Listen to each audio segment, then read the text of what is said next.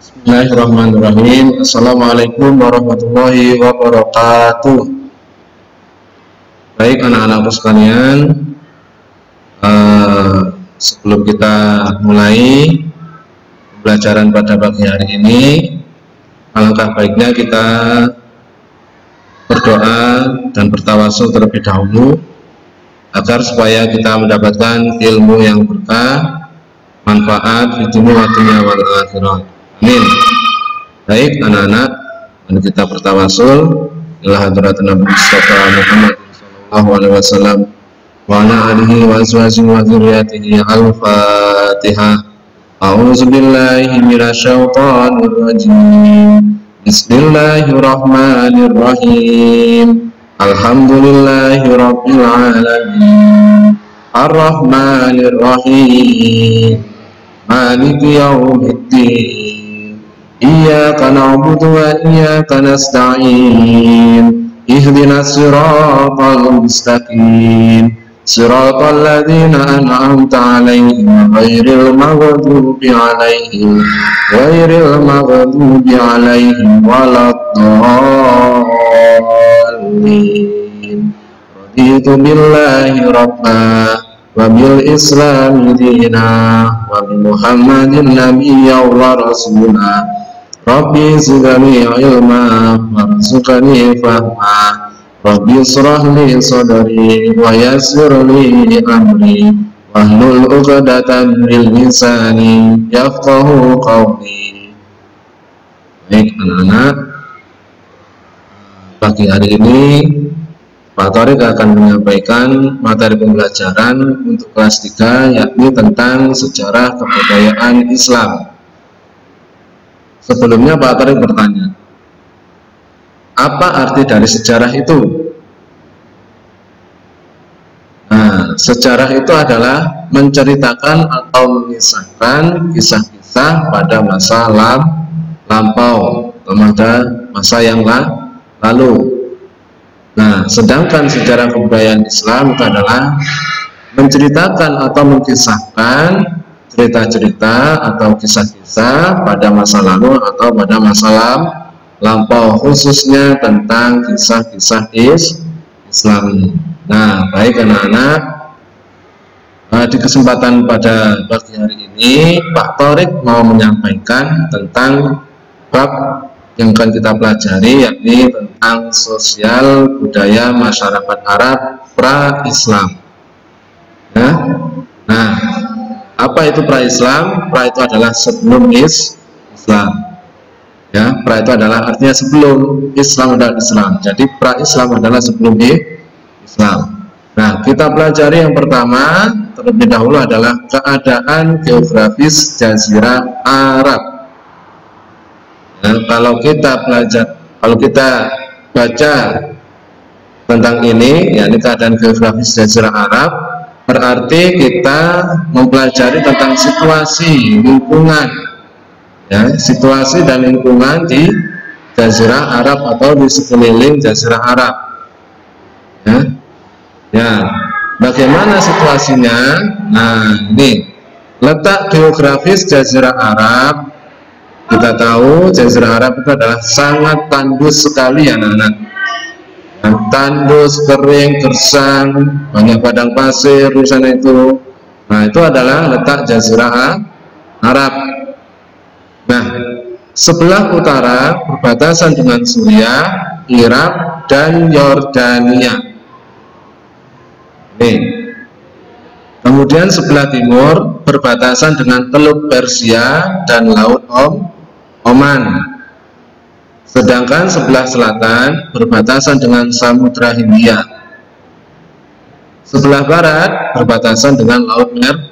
Laut Merah. Kita tahu Laut Merah ini juga punya sejarah sejarah kisahnya Nabi Nabiullah Musa yang dikejar oleh Raja Fir'aun. Nah, sedangkan luas Jazirah Arab ya berapa luasnya anak-anak? Nah, luasnya adalah sekitar 3.151 km persegi dan perdagangan terbesar ialah min minyak. Jadi Jazirah Arab meskipun letak geografisnya itu sangat tandus dan gersang, ya ini memiliki minyak atau uh, barang minyak yang sangat ban banyak. Ini anak-anak ya letak geografisnya Jazirah Arab sangat tandus sekali, ya, sangat tandus sekali. Nah, selanjutnya adalah Nah, kalau kita sudah tahu letak geografisnya Jazirah Arab itu sangat tandus, otomatis anak-anak di Jazirah Arab di sana itu pasti banyak hur, gurun. Eh, pasti banyak gurun. Apa saja itu gurun-gurunnya? Nah, di antaranya yang pertama sebelah selatan terdapat gurun namanya Rub al-Khali. Apa anak? Rukal al-Khalmi Menurut ini sangat tandus, gersang, ya, sangat keras. Ini adalah gurun yang terdapat di nah, sebelah selatan, Jazirah Arab sebelah selatan. Nah, yang kemudian di sebelah barat terdapat gurun namanya gurun Arabia. Nah, apa nana? Gurun Arab Arabia. Ini gurun yang terdapat di sebelah barat. Selanjutnya adalah sebelah timur terdapat gurun Har Harod dan sebelah utara terdapat gurun Ana. Nah, ini gurun-gurun ya yang berada di Jazirah Arab. Nah, nah, nah. Ya. Nih. Nah, selanjutnya kalau tadi kita sudah pelajari di Jazirah Arab itu banyak sekali gurun ya, otomatis anak-anak di Jazirah Arab itu sangat sulit sekali mata mata air atau sumber-sumber air tidak seperti di Indonesia ya di Indonesia ini sangat hijau sekali. Sehingga untuk menemukan sumber air atau mata air ini sangat mudah sekali anak-anak. Ya, berbeda dengan di Jazirah Arab. Sangat sulit sekali. Sangat sulit sekali. Namun ya di Jazirah Arab ini terdapat ya, satu sumber mata air. Apa namanya itu ini nama mata air tersebut adalah oase apa nana Wa, wase. Wase ini adalah salah satu atau satu-satunya mata air yang terdapat di Jazirah Arab. Terus selanjutnya, nah selanjutnya adalah keadaan sosial budaya masyarakat Arab pra-Islam. Ya. Pra itu apa artinya anak-anak? Pra itu adalah sebelum. Jadi sebelum Islam itu sudah datang. Jadi bagaimana kondisi sosial budayanya di sana? Ada berapa suku anak-anak di sana itu? Nah, baik perhatikan anak-anak ya. Nah, yang pertama adalah suku Arab kuno. Ya, suku Arab kuno atau Al-Arab Al-Badi Al-Badi'ah. Nah, suku Arab kuno ini ya, bagaimana situasinya? Nah, sekarang kuno ini merupakan bangsa yang paling kuno anak-anak. Ya, kabilah yang terkenal di Separa kuno ini adalah ada berapa itu? Ada lim, lima. Yang pertama Ad, Samud, Tasem, Judais, dan Im, Imlak. Ya, ini kabilah kelima, kelima kabilah ini yang terdapat pada Arab kuno atau Al-Arab Al-Badi. Nah, ya Ad, Samud, Tasem, Judas dan Im, Imla. Selanjutnya suku Arab asli atau Al-Arab Al-Aribah. Ya, Al-Arab Al-Aribah ini merupakan suku yang mendiami di Jazirah Arab sejak semula anak, ya sejak semula, semula dan merupakan keturunan Katan ya. Terdiri dari dua suku yakni Himyat dan Ihlan Nah, terus mereka ini di mana tempat tinggalnya? Di mana dia mendiaminya? Nah, mereka ini mendiami di wilayah Hijaz, Oman dan Arab Arab Tengah. Ya, ini suku Arab asli dan atau Al Arab Al Ari Aribah, suku yang sudah mendiami Jazirah Arab sejak semula. Yang selanjutnya adalah suku Arab pendatang atau Al Arab Al Mustari, Al Arab Mustarifah. Nah, suku Arab pendatang ini melahirkan suku Adnan atau keturunan Nabi Isma, Ismail. Nah, suku Arab, suku Adnan ini nanti lama kelamaan melahirkan suku Qur, Quraisy. Kalau di benten setelahnya itu melahirkan suku Qur, Quraisy. Nah, suku Quraisy ini melahirkan Nabi Nabiullah Muhammad Shallallahu Alaihi Wasallam.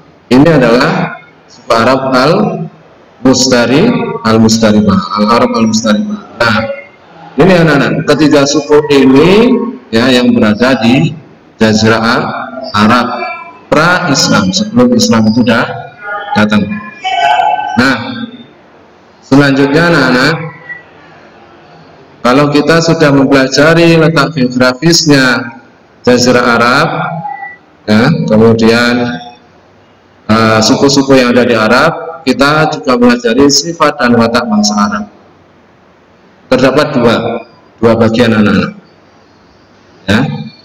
Yang pertama sifat dan watak bangsa Arab yang terpu, terpuji. Apa saja itu? Di antaranya adalah satu pemberani. Yang pertama adalah pemberani. Orang Arab itu sangat berani. Pantang mundur, tidak menyerah. Ya. Kenapa? Ini kalau kita tarik anak menyesuaikan dengan situasi dan letak kondisi jazirah Arab. Geografisnya sangat panas dan tandus tandus sekali. Otomatis berpengaruh pada sifat dan wataknya bangsa bangsa Arab. Nah, yang pertama adalah pemberan berani. Ini sifat yang terpuji anak. Terus yang kedua, suka hidup bebas. Ya.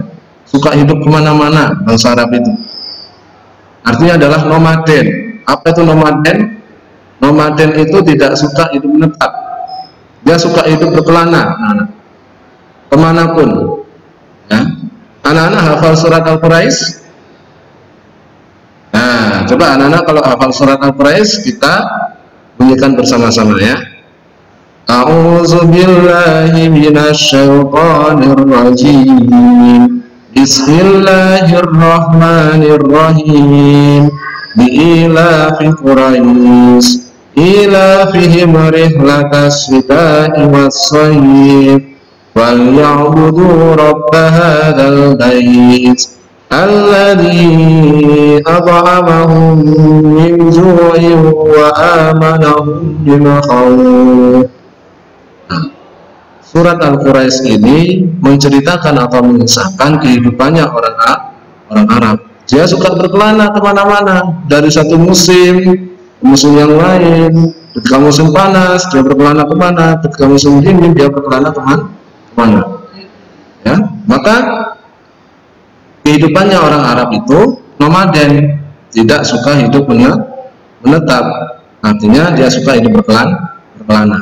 Bukan nanti anak-anak ya, surat Al-Quraisy ya lebih-lebih kalau ada terjemahan terjemahannya nah terus yang selanjutnya adalah sifat yang terpujinya yang nomor tiga adalah memenuhi jan memenuhi janji orang Arab itu tidak tidak suka berdusta tidak suka apa tidak suka uh, ingkar janji bukan berdusta anak tidak suka ingkar janji. Kalau dia suka sudah mempunyai janji pasti dia selalu menepati karena kalau dia tidak menepati janji ya, merupakan aib bagi bagi orang Arab Arab sana. Mana ya. Yang selanjutnya adalah pantang mundur orang Arab kalau sudah perang kalau sudah berkelahi dia tidak punya ya, tidak tidak mudah menyerah dia selalu semangat pantang mundur ya. Pemberani. Nih. Terus yang selanjutnya adalah suka menolong. meskipun orang Arab itu pemberani pantang mundur suka hidup bebas menepati janji ya yang terakhir tadi sifat watak bangsa Arab yang terpuji adalah apa Nana? Suka menol, menolong. Jadi meskipun bangsa Arab itu wataknya itu satu tadi yang pertama adalah pemberani, dua suka hidup bebas, terus memenuhi janji dan pantang mundur. Bangsa Arab ini, orang-orang Arab ini juga memiliki kedermawanan. Ya dia suka menolong suka membantu ya, dengan siapa pun itu.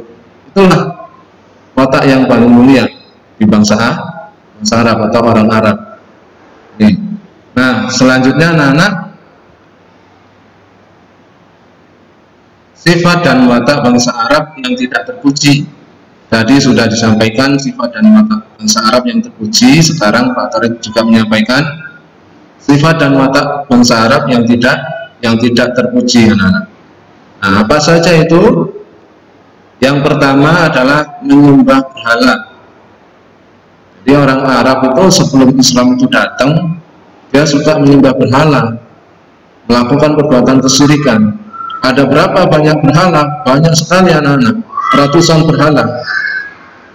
Ada kalau di buku kalian tercatat 360 berhala berhala. Nah, tapi di di salah satu berhala itu ada beberapa berhala ya yang diberi nama. Di antaranya adalah Lata, Manat, Kubal, ya. Itu adalah nama-nama berhala yang ada di Jazirah Arab sebelum Islam dah datang. Nah, kata yang tidak terpuji yang kedua adalah mengubur anak hidup-hidup. Nah, ketika yang lahir itu adalah anak perempuan orang Arab itu sangat malu. Aib bagi orang Arab kalau yang lahir itu adalah perempu, perempuan. Maka kebiasaan jelek orang Arab itu adalah mengubur anak hidup-hidup. Yang mengubur anak perempuan hidup-hidup. Kenapa? karena merasa malu. Ya, aib jika yang lahir itu adalah perempuan. Sebaliknya kalau yang lahir itu laki-laki, orang Arab merasa bangga. Kenapa? Karena pemberani, gagah, pantang mundur. Itu anak-anak. Ya? Itu adalah sifat dan watak yang tidak terpuji yang kedua. Yang selanjutnya adalah memperistri perempuan bekas istri ayahnya. Ini watak yang tidak terpuji yang nomor tiga adalah memperistri perempuan bekas istri ayah ayahnya. Yang terakhir adalah suka mabuk-mabukan atau berpesta por orang anak. Ya, jadi sebelum Islam itu datang, orang Arab itu suka meminum minuman yang memabuk-mabuk, mabukan, suka bermaksiat. Ini suka berpesta orang. Maka Bangsa Arab sebelum Islam itu datang disebut dengan bangsa jahili, jahiliyah atau disebut dengan bangsa kebodoh, kebodohan karena belum ada atau belum datangnya Islam. Ini, ini empat watak yang tidak terpuji ya, bangsa bangsa Arab. Nah, untuk itu anak-anak ya, dari penjelasan ya, tentang uh, sosial atau tentang masyarakat Arab sebelum Islam ini dapat kita ambil hikmahnya ya. hikmah yang positif atau hikmah yang baik aja. Ya, dari watak dan bangsa Arab yang terpuji tadi itu ada lima pemberani ya, menepati janji kemudian suka hidup bebas kemudian uh, suka menolong itu adalah watak-watak yang terpuji. Bangsa Arab nah, nah baik anak-anak uh, dari penjelasan dari awal tadi sampai akhir ini kira-kira ada yang belum dipahami? Kalau anak-anak belum paham boleh bagi yang punya buku yang sudah punya buku boleh dibaca bukunya. Ya karena materi sejarah ini adalah materi tentang bercerita. Tentang bercerita. Dibaca buku sejarah budaya Islamnya. Kalau yang belum punya boleh mencari di, di internet. Ya anak-anak ya. Baik anak-anak. Semoga pembelajaran pada pagi hari ini memberikan memberikan manfaat ya, sehingga ilmunya berkah sampai dunia dan akhir. Baik anak-anak dari Pak Torik saya sendiri kurang lebihnya mohon maaf. Assalamualaikum warahmatullahi wabarakatuh